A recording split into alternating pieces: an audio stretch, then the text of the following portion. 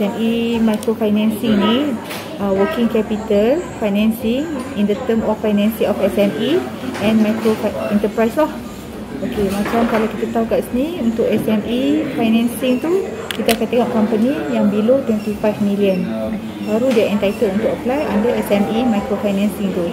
And exposure dia kena below daripada 5 million lah. Exposure tu macam existing facility yang dia dah ada dekat Maybank and other bank. So kita akan tengok kalau dia tak lebih daripada 25 million turnover and 5 million punya exposure baru dia entitled untuk apply SME microfinancing ni. Okay, eligibility dia kalau tengok dekat sini kena company tu at least one year. Ya.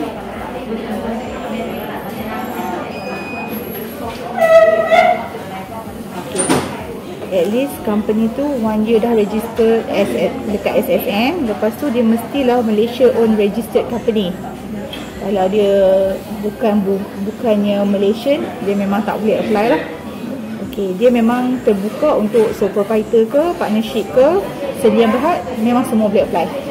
Okey, produk yang kita offer dekat sini ada kita boleh offer STP STP tu via online. Okey, lagi satu yang normal application tu kena submit all the documents lah. Okay. In detail tu nanti ada view dalam yang kita bagi tadi lah. Okey, okay. minimum and maximum uh, yang kita boleh offer 10k and maximum is 250k. Hmm. Okey. Lepas tu cara pembayaran balik kita akan uh, customer akan buka account dulu dengan Maybank. Kalau dia tak ada account, kita akan advise dia untuk buka account. Tapi kalau dia dah memang dah ada account, nanti kita akan potong monthly daripada account dia lah existing account SI standing instruction. Nah. Lepas tu pembaharuan yang dilakukan selepas COVID ni macam biasalah kita enhance kita punya STP lah application via online tu kita mudahkan lagi memang kita punya result tu secepat satu minit kalau lambat pun mungkin within 24 hours dah boleh tahu result lah kalau sebelum ni company boleh apply setakat 200 saja now kita dah enhance sampai 250 lepas tu kalau customer yang sebelum ni dah decline kena tunggu another 6 months. Now kita dah pendekkan tempoh tu after 3 months dia dah boleh apply dah.